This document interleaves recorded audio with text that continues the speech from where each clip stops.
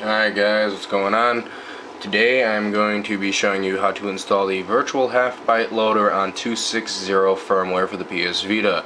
You need to download the following games if you haven't already. Uh, Sony probably already took them down, but I made two videos prior saying what games to download, so don't come whining me. Uh, and they're all listed here. I have the Euro version of Arcade Darts and the 138 menu. You also have the uh, Arcade Pool for the United States, uh, Arcade Air Hockey, and uh, I think bowling. Yeah, arcade. Let's see, Arcade Air Hockey and bowling for Europe, Arcade Air Hockey and bowling for the U.S., uh, Arcade Pool Snooker for Euro, and uh, the uh, World of Pool, and uh, the Arcade Darts for the United States. Now, I will be showing you how to install this on the arcade darts. Now as you can see I already have arcade darts downloaded and installed and uh, so we're just simply gonna go to the computer now and follow my lead. So basically any of these games uh, you're gonna be using what you're gonna need to do first is you're gonna need to go to your documents folder or wherever you have your PS Vita folder that's linked to your content manager. Open that up go to the P save data and go to your system's uh, configuration code folder and uh, then you're going to uh, go in there and make a slot. Alright, well, this is where you're going to be putting the hacked save game. So um, without further ado go grab the one that you're using for me. It will be arcade darts for the US and uh, simply what you're going to do is just double click on these files and open them up. Uh, it will help if you have an extraction program so uh, make sure you have one of those. Um, and double click on this folder and open it up and you will see all these wonderful lovely folders here. And uh, these this is uh, basically what's going to be loading your virtual half byte loader. So what you're going to do is you're going to extract these files and you will see the NPUZ 0097 slot 00 folder uh, for other um, extraction uh, it'll be different. For an example I'll open up the uh, arcade air hockey bowling for the EU the folders will be different, but you will see these folders right directly inside these zip formats. And uh, you just choose the one that you need and all the arcade uh, or all the arcade games uh, download links for these virtual half byte loaders will be below in the description labeled.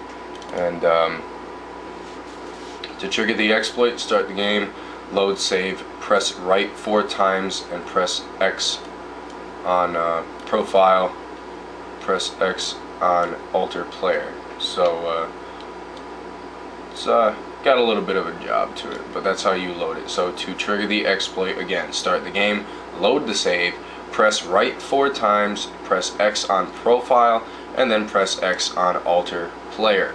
So we'll go and follow this now.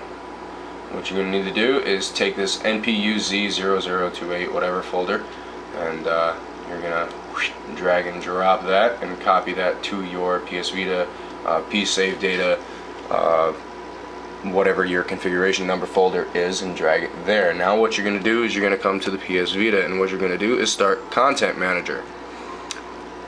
Hit start on content manager. Let me just bring this a little closer for you. And what you're gonna do is you're gonna connect to your uh, PS Vita system. Now if you made a save game uh, data with the game prior, you're going to want to delete it. And you will see the arcade darts. That's the European version. I made a video on that, uh, on how to install it properly, but I'm just going to delete that real quick and click OK. And uh, then click cancel. Now you can see I already have my emulators loaded and everything. But now what I'm going to do is I'm going to go back and you're going to select PC to PS Vita system. Select that, go to applications. Scroll down to save data, PSP and other and you will see uh, the arcade pool. Whoops, wrong one. Hold on a minute. I thought I picked the wrong one. Wrong one. Hold on. I need arcade darts. I'm an idiot. Arcade pool. Arcade darts US. Here we go. Alright. Womp. Drop that in there. Alright. Cancel. Alright. Arcade Darts Virtual Half Byte Loader, right there on the bottom. Check that, click copy, I don't care about my battery level, allow it to copy the files to the PS Vita system.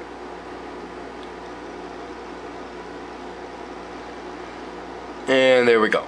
So it should be almost 2 megabytes. So click cancel, go back, and go back and we'll just double check to make sure it's there. Click on PS Vita system to PC and go down to save data and PSP other and you should see the arcade darts right there. Alright, so moving on. Going home now, like that, and come down to the arcade darts game. Start that game up. I believe it automatically loads when you load the save data in this game per se. I'm not sure, but I guess we'll find out. So here's arcade darts.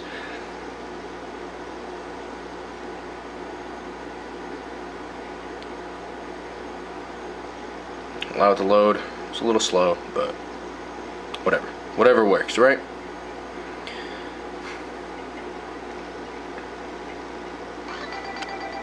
Alright, press X to start. Go to load game. And just load A,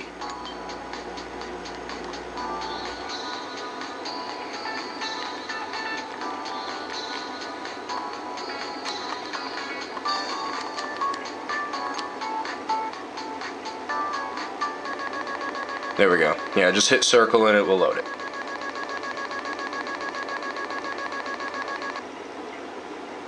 And then here's what?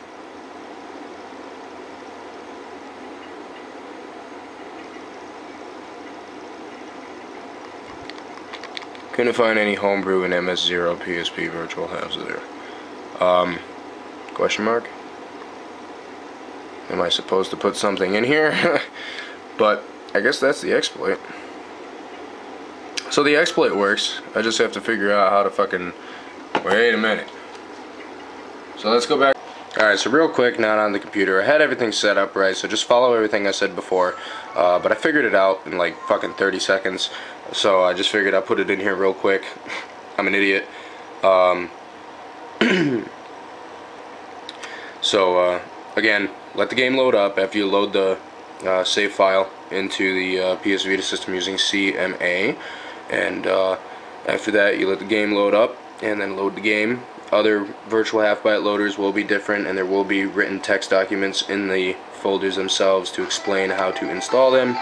Uh, so press X load the game and arcade darts and then uh, hit X on that hit circle and wait like three seconds and then the uh, loader screen will enter its mode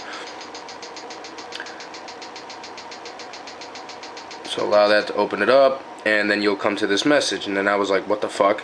Uh, but if you hit the left bumper the L button it goes back to this menu and then you can scroll down and click X and it will say do you want to install homebrews? Hit yes. And it will install the homebrew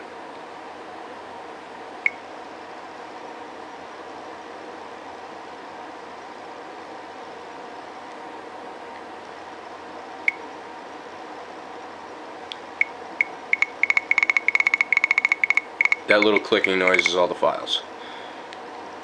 And then uh, you just click OK. And then once you install homebrew uh, you just pretty much go back. Game. Right.